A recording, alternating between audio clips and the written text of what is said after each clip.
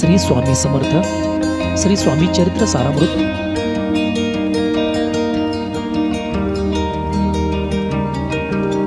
अध्याय तिसरा.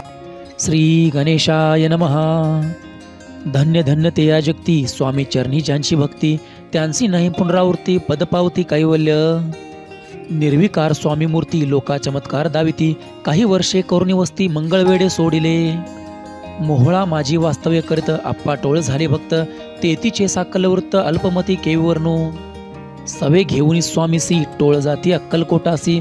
अर्धमार्गावरून टोळासी मागे परदने भाग पडे टोळ गेलिया परतुनी स्वामी चालले उठुनी. बहुत वर्जले सेवकांनी परिणच मानले त्या. तेथून या निघाले अक्कलकोटा प्रति आले. ग्रामद्वारी बैसले तिराज स्वच्छेने. तेथे एक अविंद होता तो करीत थट्टा. परी काही चमत्कार पाहता महासिद्ध समजला. पूर्व पुण्यास्तव निश्चिती आले चोळाप्पाचे ग्रहाप्रती स्वामी सिजानून ईश्वर मूर्ती चोळाप्पा करी आदर. योग या अगदी काही चोळाप्पाने केले नाही परिभक्तीस्तव पायी स्वामी आले सदनाते.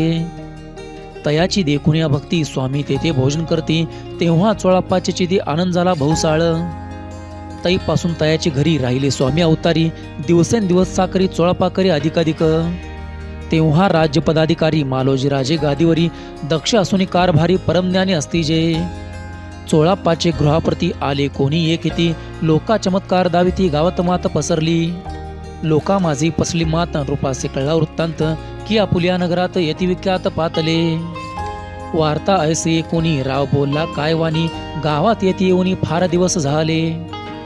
परी आम्हा श्रुतपायी आजवरी झाले नाही आता जाऊन लोलाई भेटू तया यतिवर्या परी ते केवळ अंतर्ज्ञानी ऐसी वार्ता ऐकली कानी हे सत्य तरी येऊनी आताच देती दर्शना.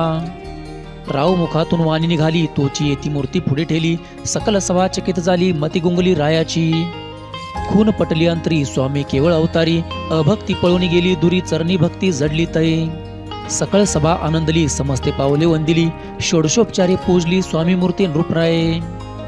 इति श्री स्वामी चरित्र सारामृत नाना प्राकृत कथा संमत प्रेमळ भक्त परिस्तोत तृतीयाध्याय गोढा श्री स्वामी राजार्पणमस्तु श्री रस्तु शुभम भवतु।